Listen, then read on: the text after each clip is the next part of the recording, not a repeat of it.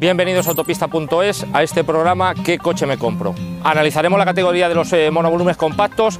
Eh, aquí están los seis coches que para mí son los mejores candidatos dentro de una horquilla de precios de entre 17 y 23 mil, lo más competitivo y con motores entre 1,6 litros, 1,7, 105 y 115 caballos.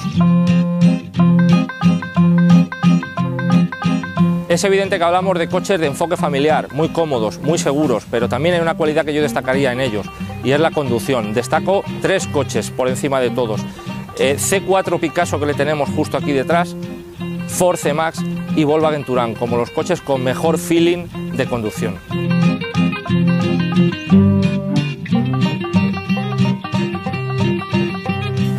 Con la excepción de Toyota, que monta un motor 2 litros de 120 caballos, el resto de modelos utilizan motores relativamente pequeños, 1.5, 1.6, 1.7 litros, entre 105 y 115 caballos. Yo por equilibrio creo que tengo un ganador, es el motor HDI, TDCI de PSA y Ford, 1.6 litros, 115 caballos, muy homogéneo en rendimiento, consumos, agrado de conducción y prestación, pero el ganador en consumo en este caso es el motor 1.5 DCI de Renault, de todos el que menos ha gastado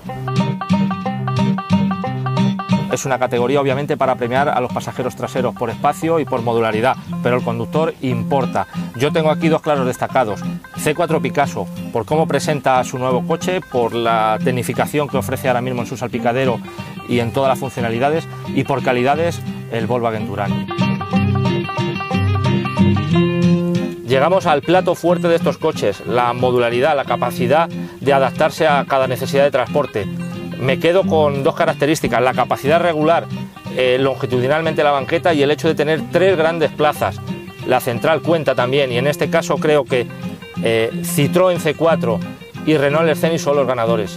¿Y qué capacidad de transporte ofrecen? Elevadísima, en el peor de los casos cerca de 500 litros, pero aquí hay un claro ganador y es el Kia Carens, 550 litros mínimo y con capacidad de ampliar el maletero hasta más de 700 litros.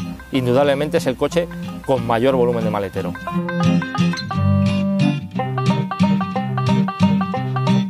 Juega tus cartas en función a tu criterio. Calidades, espacio, habitabilidad, modularidad, maletero. Para mí aquí hay dos claros destacados.